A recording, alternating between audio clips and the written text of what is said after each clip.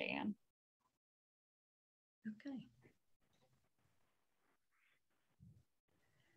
Hi, good evening, everyone. Welcome to tonight's webinar. So glad you could join us. Happy Wednesday. Tonight's webinar is the latest in DCM genetics research and therapies in development. Um, as always, we have all participants' microphones muted upon joining. If you do have any questions tonight, and we hope that you do, please use the Q&A feature at the bottom of your screen, and uh, we will have a, a large Q&A segment tonight, so we hope you'll use that. Uh, behind the scenes, but oh, first of all, I'm Jay Ann Rock, for those of you who don't know me, um, from the DCM Foundation. I'll be your host tonight. And behind the scenes, we have Heather Musgrove assisting with technology. Um, again, if you have any questions, drop them in the Q&A option. So let's get rolling. For those of you who don't know, the DCM Foundation was founded in 2017 with a mission to provide hope and support to patients and families with dilated cardiomyopathy through research, advocacy, and education. During tonight's webinar, we are going to have uh, the largest segment is the first portion, which is about the latest in DCM research. During this portion, we will share a summary of recent results from the DCM Precision Medicine study. And this will be done with Dr. Ray Hershberger and Dr. Elizabeth Jordan.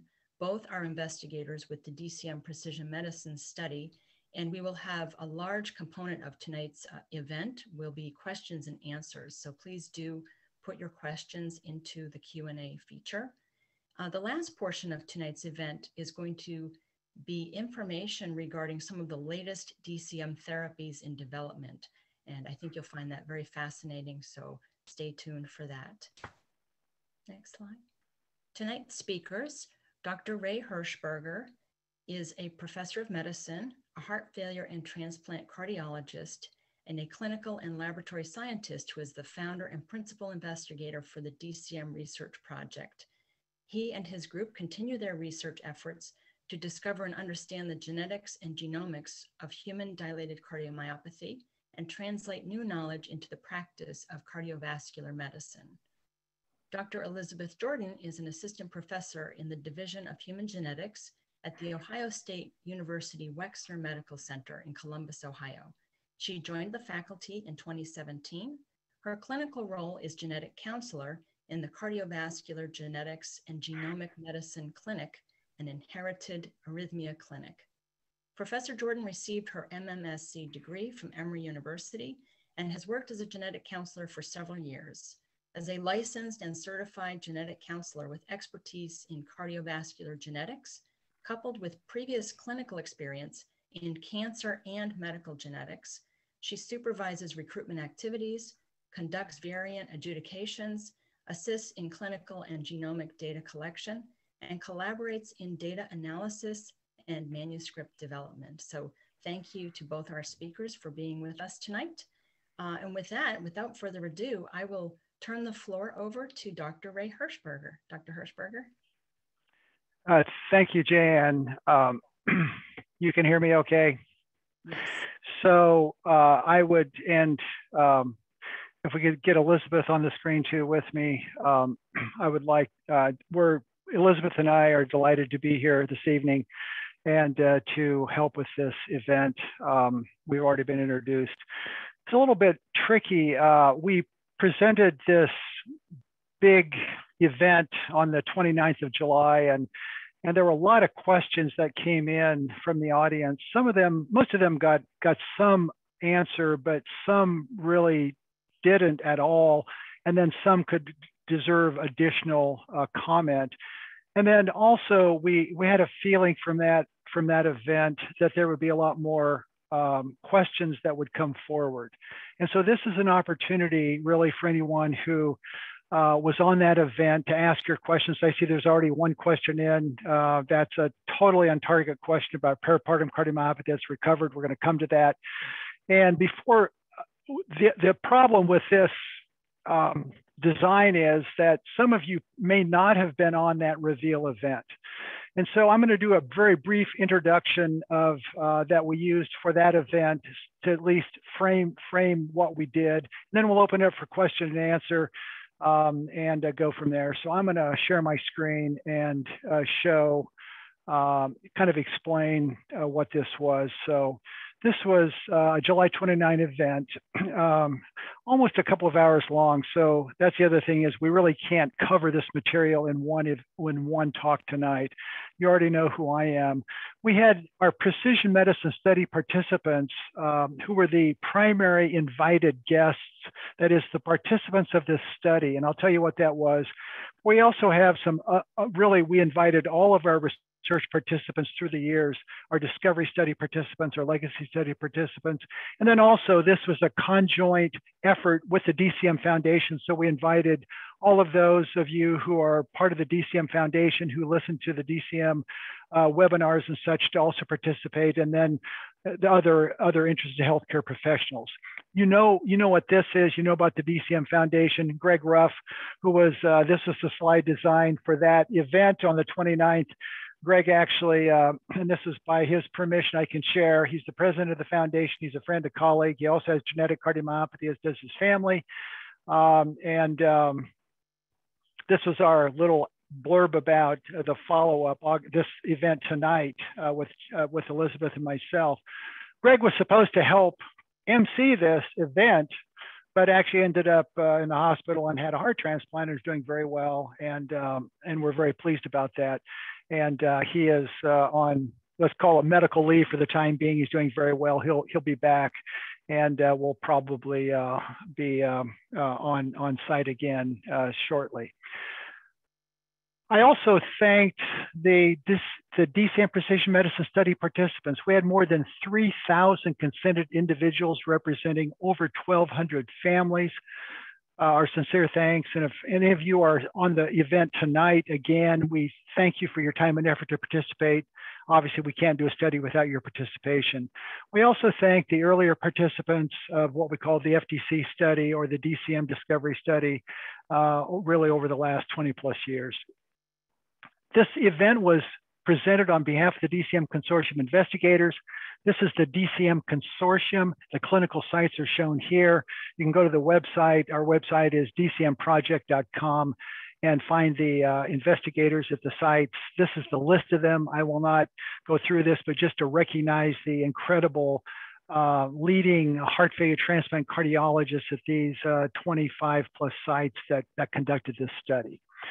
Uh, we also thank the National Institutes of Health for their support. This was between the National Heart, Lung, and Blood Institute and the National Human, Human Genome Research Institute, uh, over $12 million so that we spent over six years to conduct this study. And of course, um, we cannot do this without that type of support. Our clinical research team at, at OSU is extensive, shown here again, uh, just a, a quick uh, note to thank them for their effort. And then my OSU colleagues and co-investigators, Dan Kinnamon, a statistical genetics PhD, Elizabeth Jordan, fantastic cardiovascular genetic counselor here with me, uh, Hanyu Ni, uh, uh, epidemiologist, and then uh, Wylie Burke and Gordon Huggins at UW uh, and Tufts. Why July 29? that was the program the, that was the evening that we had the DCM consortium investigators who uh, many of them came into uh, Ohio State University in Columbus, Ohio. Uh, we had this event at, at a hotel on the campus, uh, the Blackwell Hotel, for the Summer Scientific Symposium. We've been doing scientific symposia for the last three years where we get the investigators together to discuss our current research, our current data, publications coming, and future studies and all of that. And, and they helped. There were uh, many of them helped. I will not go through that uh, in the interest of time. Uh, if there are healthcare professionals on, uh, the content that we presented was really prepared for a lay audience. And just to say that this data is in progress. The papers are being literally being written and submitted now. So this is living data. This is not it's much easier to present published data because it's already a done deal, and uh, and this is still being curated, and and so this was uh, everything was accurate, but it was not a um, a done deal, so to speak, in terms of, of, of all the findings that we expect, expect to observe.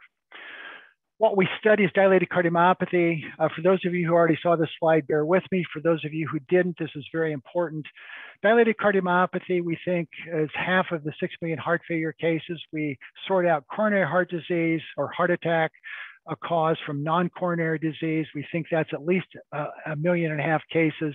We sort out other causes, um, which are numerous, and most of what's left, 90 to 95%, we think of it as idiopathic or cause unknown dilated cardiomyopathy. That's after we exclude usual clinical causes, and, and henceforth tonight we will simply call that DCM or dilated cardiomyopathy, and that's what we study. We do know if you do family studies from single center uh, studies, you can find upwards of anywhere from 20 to 35% will have some evidence of familial disease.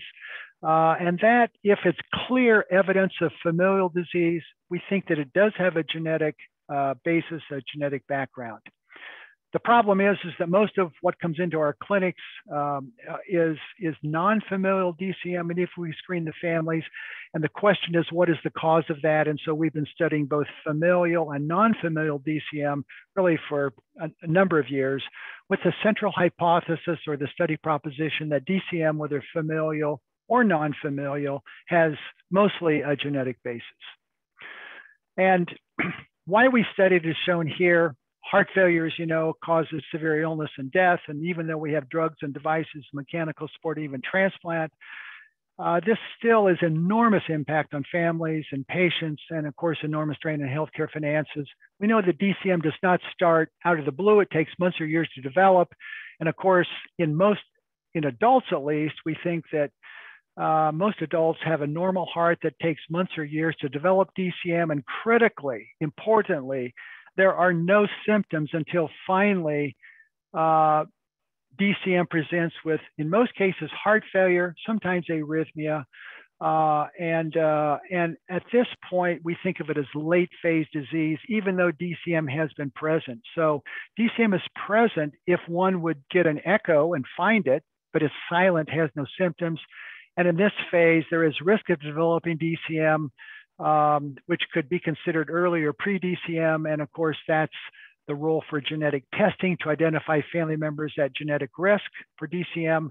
And then we dial in regular clinical screening to detect very early development of DCM with the idea that early medical intervention can delay or prevent the onset of DCM. The idea is to really even block even full-blown DCM from, from developing we have some very interesting studies going on, which uh, in cardiac magnetic resonance imaging right now, we've just started a new study.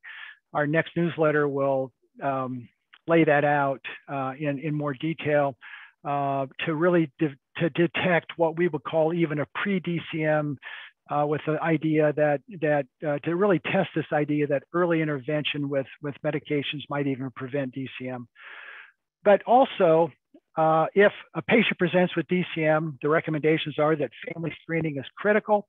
Clinical screening of family members will permit diagnosis and treatment prior to advanced disease. So during this silent phase, dial in drugs ideally to prevent this late phase disease of heart failure that needs all these advanced therapies. So that's the idea of why we do all of this. So I'm a transplant cardiologist. It works. Uh, we've saved hundreds of patients or prolonged uh, the lives of hundreds of patients with heart transplant. Uh, it does work, but it's uh, it's really um, that's advanced therapies, and this is really all about prevention, trying to prevent advanced disease. Let me tell you a couple slides here about the study. The study was funded in the fall of 2015. Uh, first enrollment uh, was in June of 2016. We closed our uh, proband or patient enrollment in March 15, 2020. Family member enrollment closed April 1 of this year. Uh, uh, Elizabeth is completing the uh, the final genetic analyses um, even as we speak, and we hope that will be um, completed really in the next 30 to 45 days. Uh, we are returning results to participants within the study. Uh, most results have been sent out, but some have not, and that's just because it takes a long time to do this analysis. Thank you for your patience. It's been a huge effort. We're learning enormous amount of new information, and thank you again for your participation. I'm going to stop uh, stop sharing and Um, we, again, um, I was saying to Elizabeth before this started, if we have no questions, uh, whether, let's see, I was forgetting whether I was going to sing and she was going to dance or she was going to sing and I was going to dance. But we need your questions. Uh, please uh, uh bring them in. I see uh, another one has just come in. And um, um, so I might and I think um, Elizabeth is going start to uh, with. Yeah. yeah, you. I was going to start by um, you know, uh, actually fielding some questions to you, Ray, because we had this first phenotypic question about people presenting with peripartum cardiomyopathy and what the relevance of that is. Um, but there are also some other phenotype questions that we didn't get to um, in the previous webinar. So maybe it'd be a good time to set some some ground on some of these phenotype questions. Um, I can I read them to question? you. Yeah. Should I take Sure. Um, this first one, um, I, I, think I, am not sure everyone can see this, so I'll read it for the for the group. Um, so the question is from an anonymous attendee wondering about genetic testing in the setting of peripartum cardiomyopathy. So um, actually, specifically, it says recovered peripartum cardiomyopathy. Um, so it, for both the patient and their family members. So I'll let you take that one first, right? Yeah. So this is an important question. So peripartum cardiomyopathy, those of you who may not understand what that term means, that is cardiomyopathy that is diagnosed within, uh, within pregnancy. Technically, um, or at least officially, is in the last two months of pregnancy and the first uh, five months postpartum. Nevertheless, uh, additional studies have shown that really um, uh, cardiomyopathy develops really almost any time during pregnancy, certainly in the in the second and third trimesters. Uh, and then within six months postpartum would be considered peripartum cardiomyopathy. The question has always been, is there something special about the peripartum situation which causes the cardiomyopathy, or is it just the stress of being pregnant with the extra workload on the heart? And there's no question there's extra workload on the heart. Um, and that question went away. What happened to that question?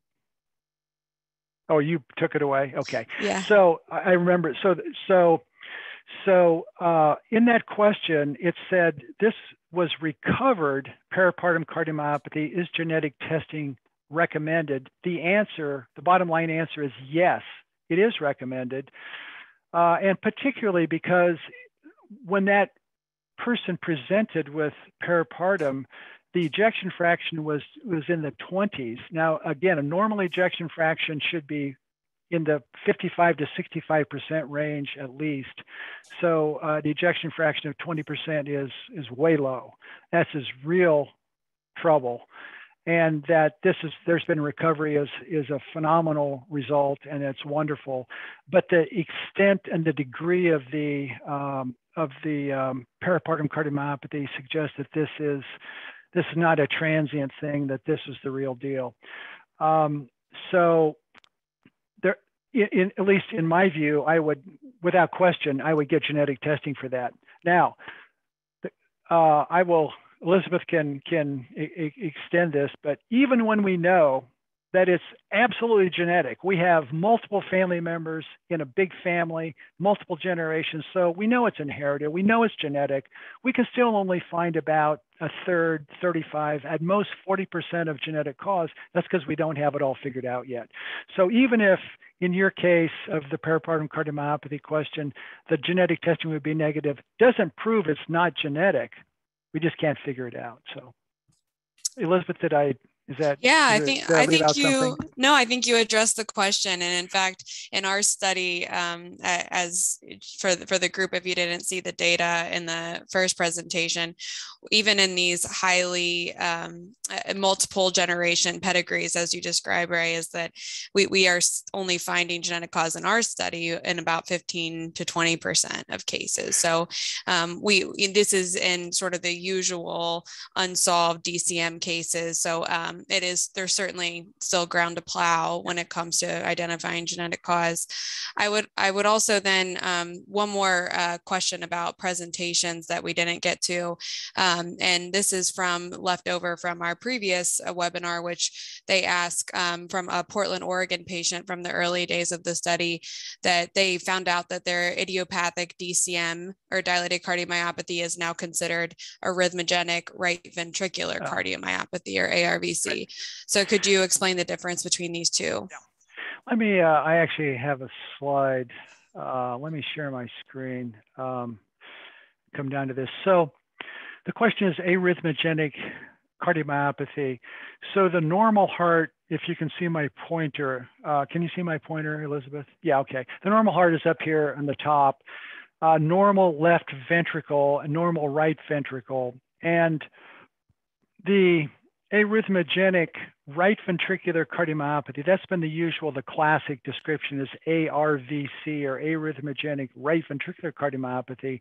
We've changed the name uh, more recently to arrhythmogenic, but but uh, you can see in the right ventricle these yellow streaks, which are fatty streaks, and this right ventricle is dilated. And if we had a, a an echo, would show that that ventricle, instead of contracting vigorously, would be barely contracting. Um, that's the classic. It turns out that there's a lot of overlap, and um, the genes overlap between ARVC and dilated cardiomyopathy. Uh, in fact, we commonly see this. Um, and, and also the phenotypes, that is the clinical presentation, is there's overlap between ARVC and DCM. And what I mean by that is we sometimes see really a classic dilated cardiomyopathy. The, the dilated phenotype is shown here on the left side, where the, this is drawn predominantly as the left ventricle being dilated relatively thin. And of course, the ejection fraction, instead of pumping vigorously, that heart is barely pumping with a low ejection fraction generally, the classic dilated cardiomyopathy phenotype is both right and left dysfunction. Um, and, uh, and so we sometimes will, uh, in our either research or clinical uh, practice, we'll see uh, ARVC genes coming out of DCM. So there's a lot of overlap. So um, there, there is some, some sense that ARVC and data to support that that suggests that ARVC is more has more malignant arrhythmias. Uh, and that might be relevant for getting an implantable cardiac defibrillator to deal with uh, potentially life-threatening arrhythmias in the patient earlier in the course of the disease if, if it were ARVC versus DCM. But that's, um, but in, but, but I, I hope that that's, I'll, I, am I'm, I'm yammering on, I'll, I'll stop. Uh, but Elizabeth, if I haven't given it enough uh, yeah, I think this idea of there being a spectrum of, you know, things between the sort of classic DCM and classic ARVC is really what um, they probably are getting yeah. at. I'm seeing some questions too about um, what they can what people can expect from the study from uh, from genetic data and specifically gene sort of gene specific data. And i am i can very loudly say that we are pleased very much looking forward to um, gene specific uh, papers um, coming out of our our research. We are like like grace said in our final stages of variant adjudication in the last really the, the handful of variants um, that we're, we're tracking in families. Um, and we're particularly excited because we have family based data on all of these variants as well. So this isn't just going to be, um, you know, case uh, case cohorts. We have uh, family and segregation data for these gene specific papers that could be coming out. So um, yes, stay tuned. Hopefully sooner rather than later, that will be that will be coming.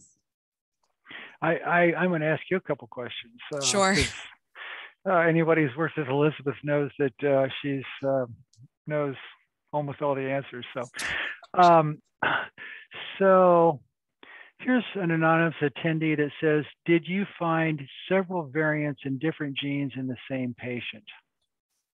More often than not. we have lots of multiple variant observations. Um, I, in fact, we, uh, well, we, we presented this data in the, the reveal webinar. Um, but um, the, you know up to up to half of our patients have a, a VUS, and um, many patients have multiple variants, either combinations of uncertain variants, which um, for those of you that aren't familiar with that terminology, uh, meaning that we we found a variant in one of our genes that we we know to be related to dilated cardiomyopathy, but um, we don't know if that gene actually causes DCM or not. Um, so we we do find uncertain variants that are in this gray zone of whether we we know or, or if they cause disease or not um, quite frequently, and um, we can see the multiple uncertain variants in, in individuals, but also combinations of disease causing variants with these uncertain variants. Um, so it is quite common, and it's something that we're often sharing back to patients this um, multiple variant uh, effect. And hopefully, we will understand that more as we continue to study these large families with multiple variants. I'm going to I'm going to keep peppering you because their sure. questions are piling in. Um, so will the publications include more detailed phenotype information for specific genes? I'm thinking of, this is from Kara Barrett, uh, who was actually one of the first questions uh, now a few minutes ago.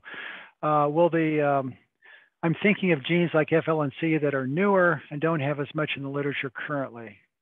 Yeah, um, Cara Barnett was one of, she's picking on me because I uh, mentored her when she was in graduate school at Ohio State. Um, so, yes, Cara, we're pe- picking backing off my first uh, comment. We are certainly, the data's coming. In fact, an FLNC paper is in preparation and come see our um, poster at NSG at the National Society of Genetic Counselors Conference where we will be sharing some preliminary FLNC data.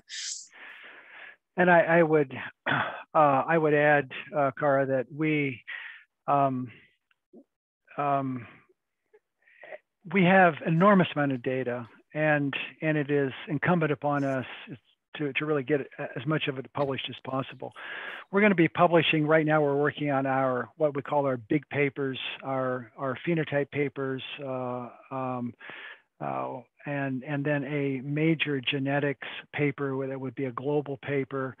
Um, but then we're also working on gene-specific papers, and in fact, uh, correct me if I'm wrong, Elizabeth, but I think FLNC has already been picked up and and will is is one of several gene-specific papers that would really drill down then on the phenotype data, which is is very important to get out to the community. So.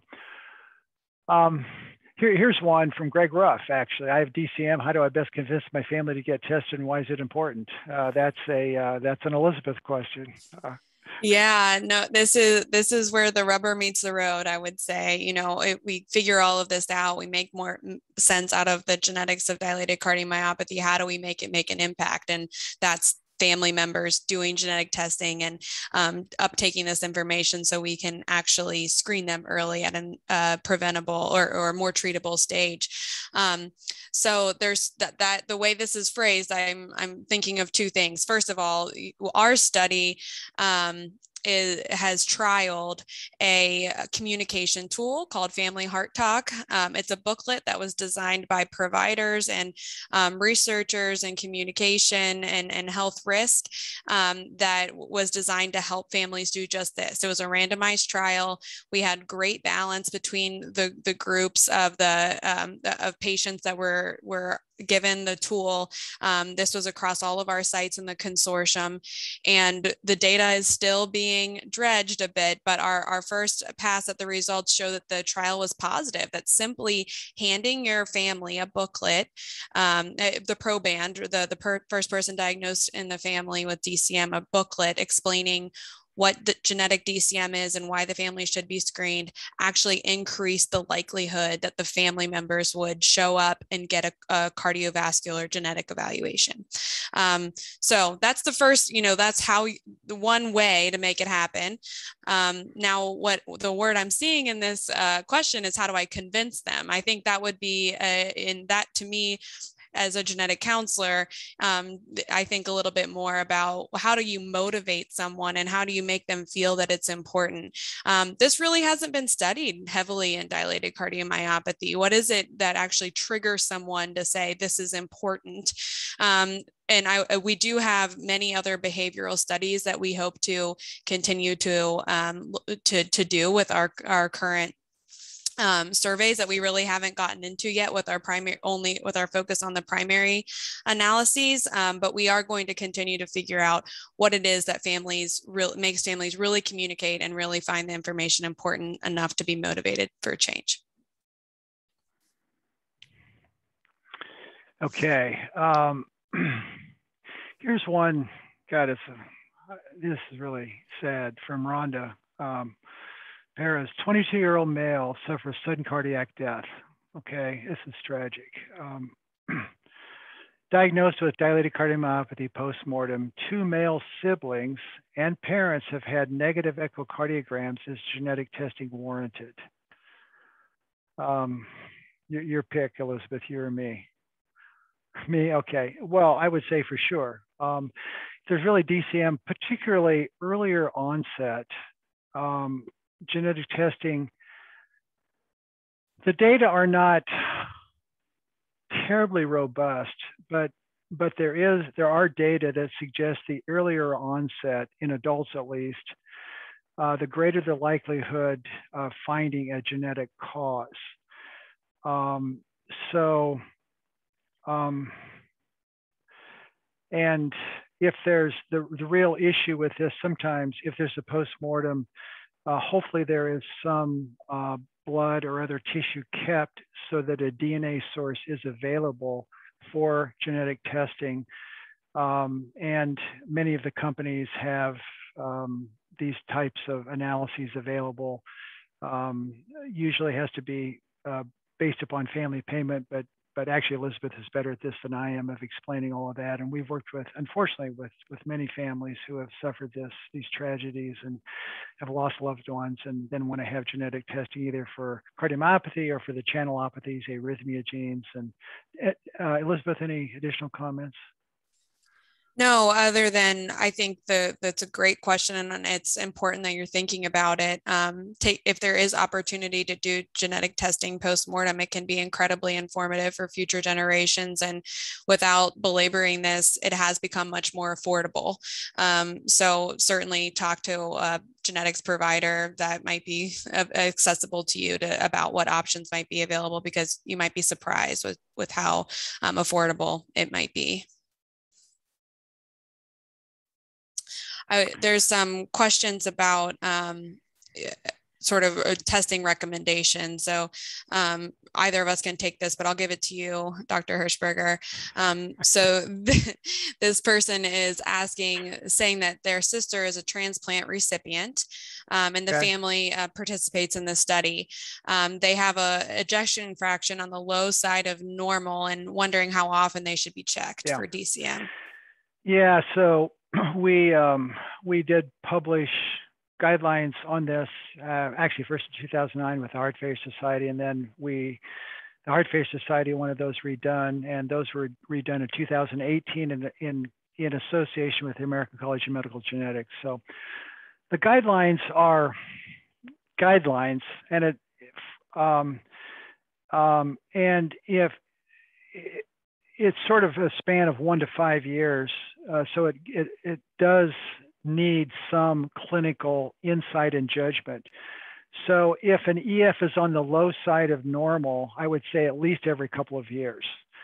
Um, and then the other the other comment is depending if it's really a difficult echo, anywhere from 10 to 20% of echoes will sometimes have inadequate windows or uh, the, the, the data will not be quite as good. It just has to do with body habitus and it doesn't really have anything to do with, with, with size or gender or anything like that. It's just some echoes, most echoes are great, but some aren't. If there's any question about measuring an ejection fraction or heart size, getting good measurements, then consider cardiac magnetic resonance imaging, an MRI of the heart.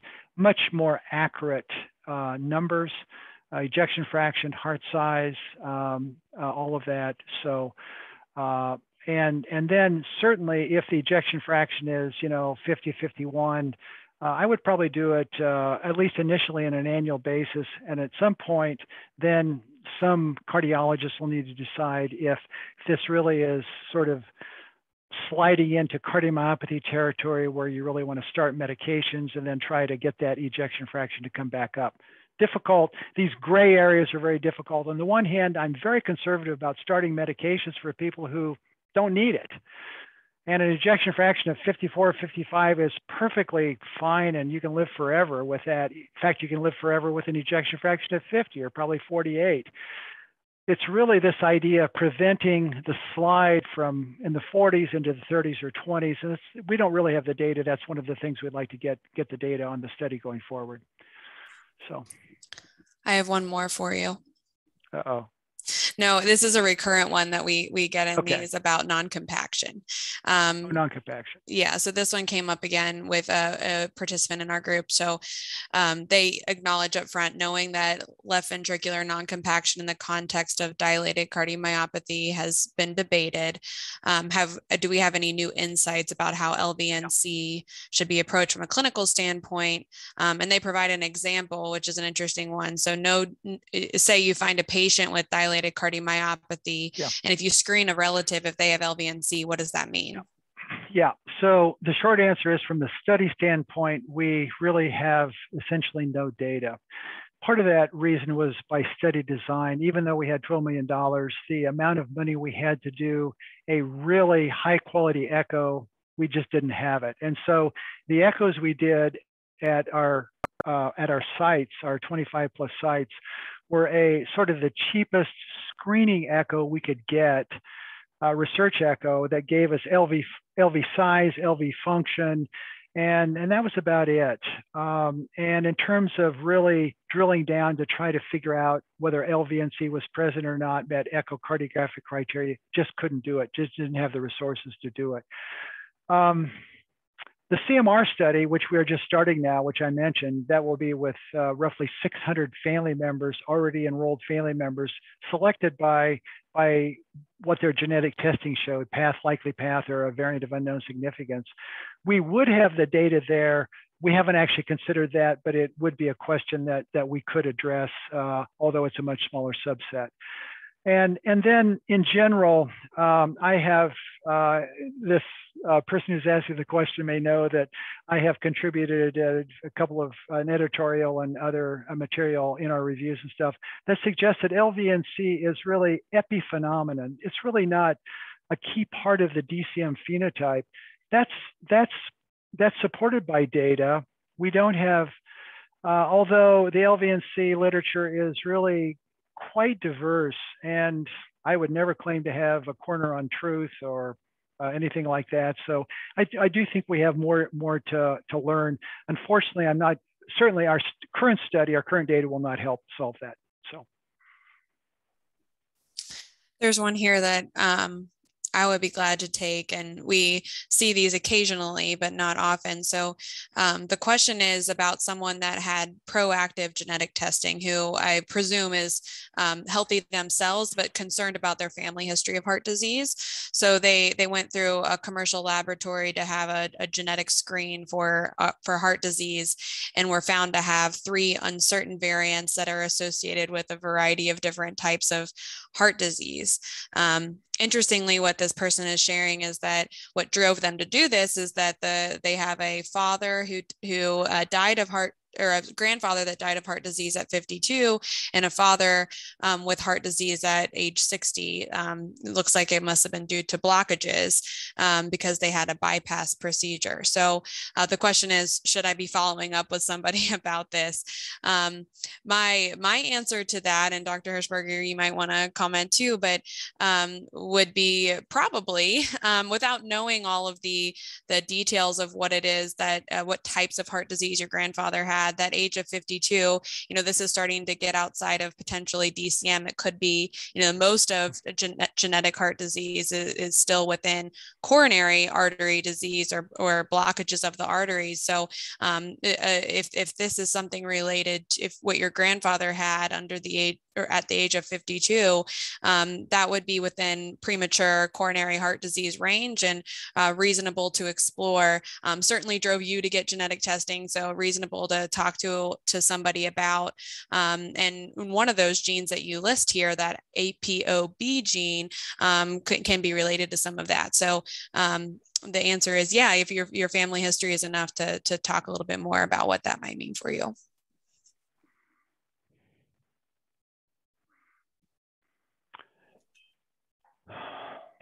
okay. Um,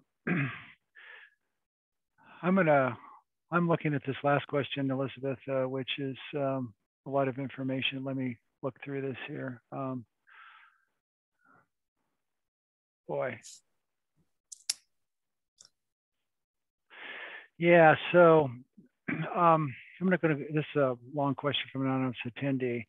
A person who had peripartum cardiomyopathy and then a daughter with a, um, um, a syndrome called POTS, which is a orthos, uh, a, a, low blood pressure thing when you stand up, and and um, it's it's a real problem, and and and then other events in the in in the family. It turns out that I would just say, as a global comment, even though we have come light years in the last 20 years in terms of knowledge of DCM genetics, what we need to know is probably that much, and what we actually know is about that much. And and uh, and I would say particularly, we we have found the big genes, the, the lamin gene, the, the FLNC, uh, the MYH7, we can name off these genes, the genes that we work with all the time.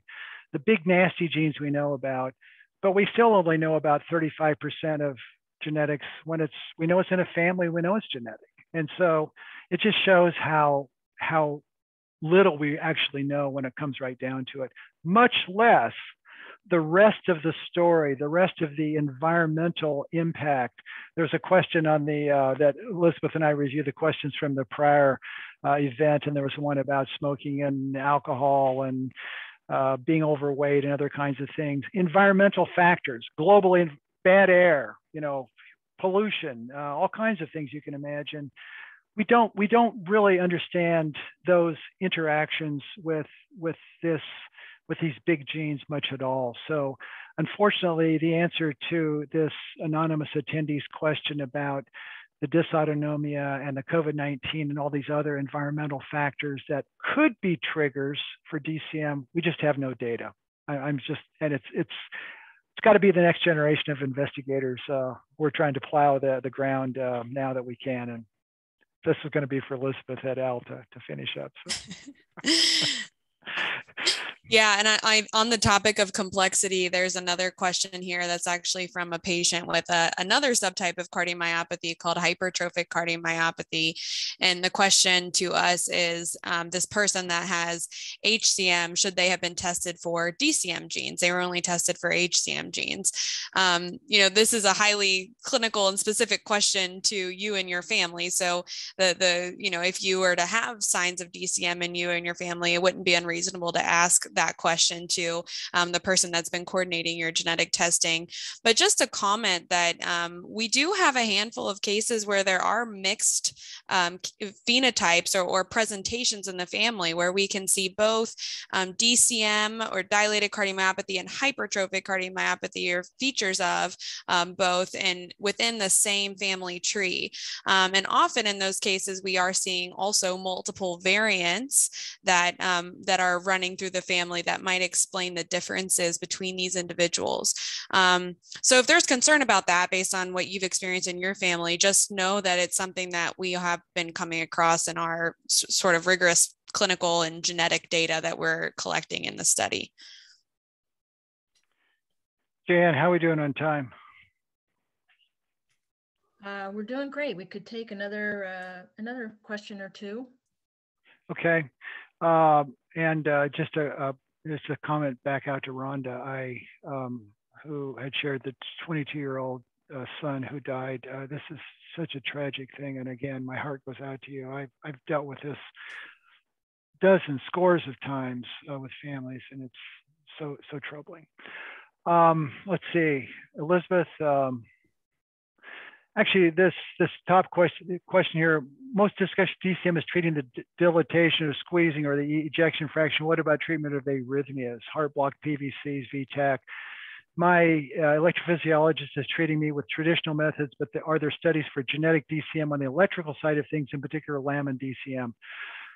Uh, and DCM is really a kind of a one-off that presents with prominent conduction system disease, heart block, needing pacemakers, and then nasty arrhythmias, both supraventricular, this would be atrial fibrillation, atrial flutter, as well as ventricular arrhythmias, ventricular tachycardia, VF, ventricular fibrillation. So um, Lamin is, um, there actually is a, a, clinical trial ongoing with Lamin right now. Um, it's not gene specific, uh, but but um, uh, but we do.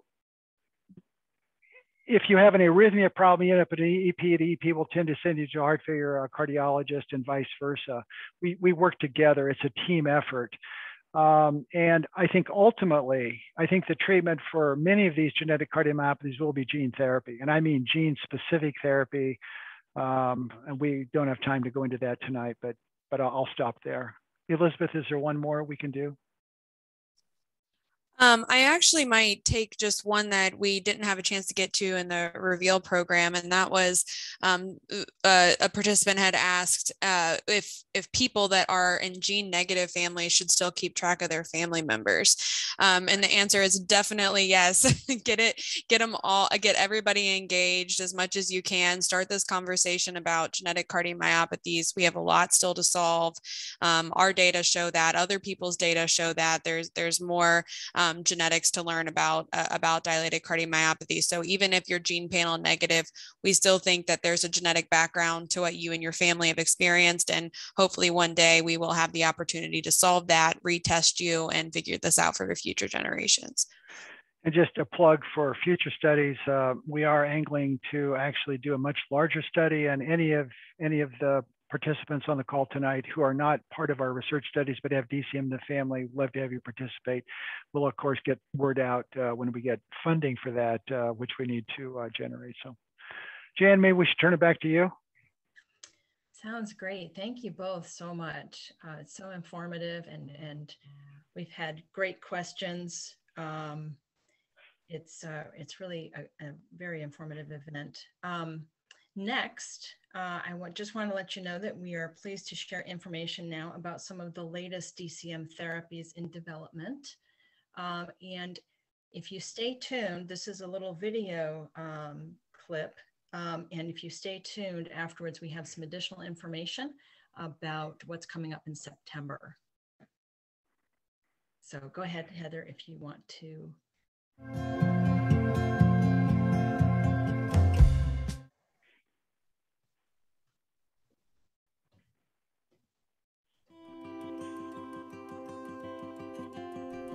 Tenaya is shaping the future of heart disease treatment through a bold mission to develop therapies that address the underlying causes of heart diseases and conditions. Tenaya is addressing many heart conditions that affect both children and adults. Some forms are genetic and are inherited in families. Our approaches to new therapies are diverse and draw on three scientific platforms gene therapy, regeneration, and precision medicine. Our initial focus is on using gene therapy to repair cells that are malfunctioning due to genetic mutation. Gene therapy has been shown to be safe and highly effective in multiple clinical trials targeting different organs. We are building on these advances to bring gene therapy to the heart. Gene therapies are delivered using a modified version of a virus containing a healthy copy of a gene to replace a gene that is not working properly. Tenaya's approach is designed to deliver therapies directly to the heart. Tenaya's lead program focuses on addressing mutations of the MYBPC3 gene, the leading cause of genetic hypertrophic cardiomyopathy. We will not stop until we have helped every person with heart disease reach their own peak. Contact us to learn more about our natural history study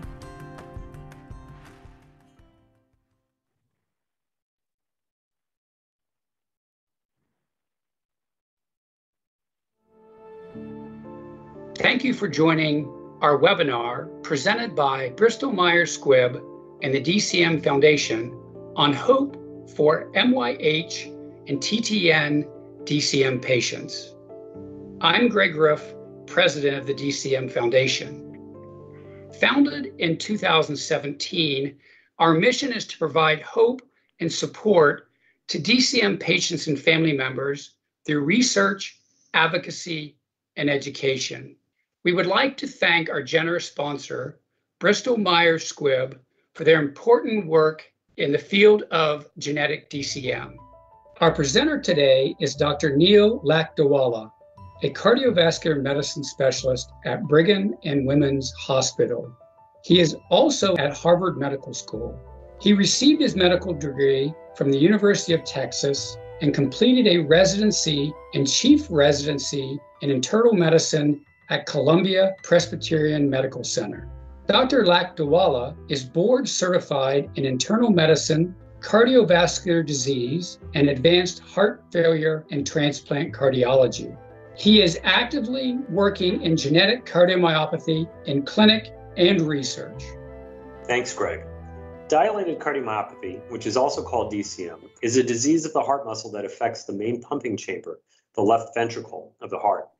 In this disease, the left ventricle becomes weak and cannot pump blood to meet the body's needs as well as a healthy heart can. In general, the heart becomes enlarged or dilated as the disease progresses. The symptoms of DCM include shortness of breath, fatigue, fainting, swelling of lower extremities, and palpitations. DCM has many causes and can be acquired or inherited. Inherited means your parents passed a variant in a gene associated with the disease onto you. This genetic variant is also referred to as a mutation. This type of DCM is called genetic DCM. Research has been ongoing to look for the specific genetic link to cardiomyopathy including DCM, and to explore how the genes cause or contribute to the various types of disease. The true numbers for how common DCM is and the proportion of DCM that is genetically caused are not fully known. Current estimates are that up to 1 in 250 people have DCM. Amongst patients with DCM, about one third have inherited the disease as a familial condition. While genetic causes of DCM can be identified in patients with familial disease, Genetic mutations are also present in patients without a clear family history of DCM. Current research has identified over 30 different genes associated with this disease, but the majority of causes are linked to 12 genes. TTN and MYH7 are two genes that are affected in DCM. It is estimated that TTN mutations account for 12 to 25% of DCM, and MYH7 mutations account for approximately 5% of DCM. From the TTN gene, a protein called titin is created. From the MYH7 gene, the protein named beta myosin heavy chain is created, and both proteins play important roles for heart muscle contraction or for the pumping ability of the heart. Mutations in these genes impair the ability of the heart to function properly. At this time, there are no approved medications that target these mutations to help increase the pumping action of the heart, improve the heart's function, or slow disease progression. Danicamtiv is an investigational drug that Bristol Myers Squibb, BMS, is studying for this disease. In previous studies in humans and animals, danicamtiv enhanced contraction of the heart muscle. Currently, BMS is studying danicamtiv in an ongoing clinical trial in the US and parts of Europe in patients with DCM caused by MYH7 and TTN mutations. This trial aims to further evaluate the safety and cardiovascular effects of danicamtiv on the heart's pumping ability. BMS is studying how danicamtiv might work for patients who have DCM caused by mutations in these two genes. Patients who qualify for the study will need to meet these following requirements. They need to have stable primary DCM due to either MYH7 or TTN gene variants and be 18 to 80 years of age at screening. If there are family members who have DCM and the exact same gene variant, up to three total family members can participate in this study.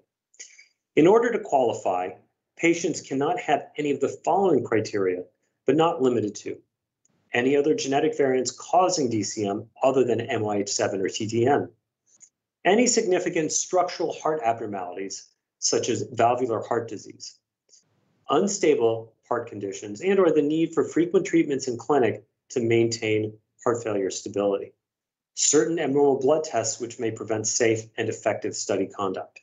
You can find more information about the study on the clinicaltrials.gov website by searching for danicamtiv You can also find the active study sites contact information on this website. You can also email to clinical.trials at bms.com to learn more information about this study. We appreciate your interest in this study. Thank you.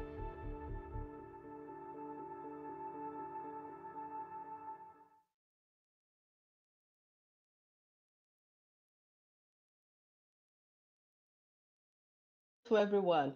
We hope you are enjoying the conference. On behalf of the Realm DCM study team, thank you for the opportunity to present the outline of our phase 3 study of PF 803 and dilated cardiomyopathy associated with lamin AC gene mutation. My name is Franca Angeli, and I'm the Global Clinical Lead for Rare Cardiology at Pfizer. PF803 is an investigational product that inhibits P38 alpha MAP kinase. P38 alpha, alpha MAP kinase is activated in human, human hearts of patients with lamin AC dilated cardiomyopathy. And treatment with PF803 improved cardiac function and lifespan in models of LMNA related DCM. A phase 2 study was successfully completed with PF803 and we are currently recruiting participants to complete our ongoing phase 3 study. Our REALM DCM study will randomize, or in other words, assign by chance, up to 160 participants to receive either PF803 or placebo. Once the last participants complete six months of follow-up, all participants that remain in the study may receive the study drug. The main objective of REALM DCM is to evaluate the effects of PF803 on functional capacity measured by six-minute walk test at six months. This trial may be right for you if you are older than 18 years old, have heart failure related symptoms, have either an implanted cardioverter defibrillator or a cardiac resynchronization therapy defibrillator and have LMNA DCM. As an important note, genetic testing to confirm if you have a causative LMNA mutation is offered as part of the study. And our study physicians will be available to review with you all the criteria to ensure that the study may be right for you. We have over 60 sites open in North America, Europe, and Latin America, with close to 30 sites in the West available to assist you. If you are interested in learning more about a study, please go to Pfizer Clinical Trials portal using the link www.realmdcm.com or call us at 1 800 887 7002. On behalf of the Realm DCM study, Thank you again for your attention.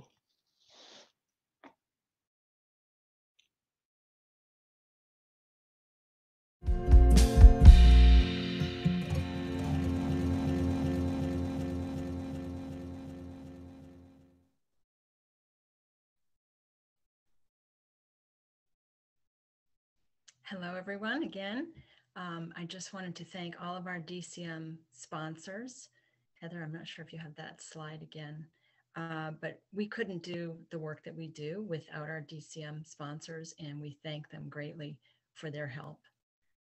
There they are.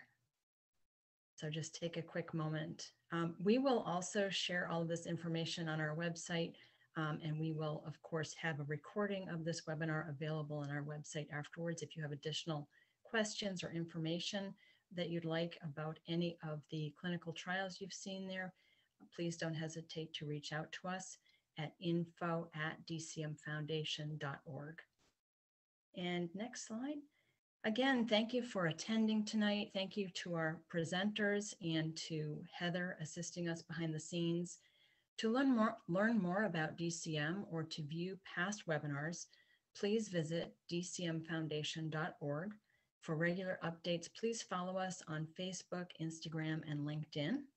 And finally, uh, just want to put in a plug for next month's webinar, which will be held on Wednesday, September 22nd from 6 to 7 p.m. Eastern Time.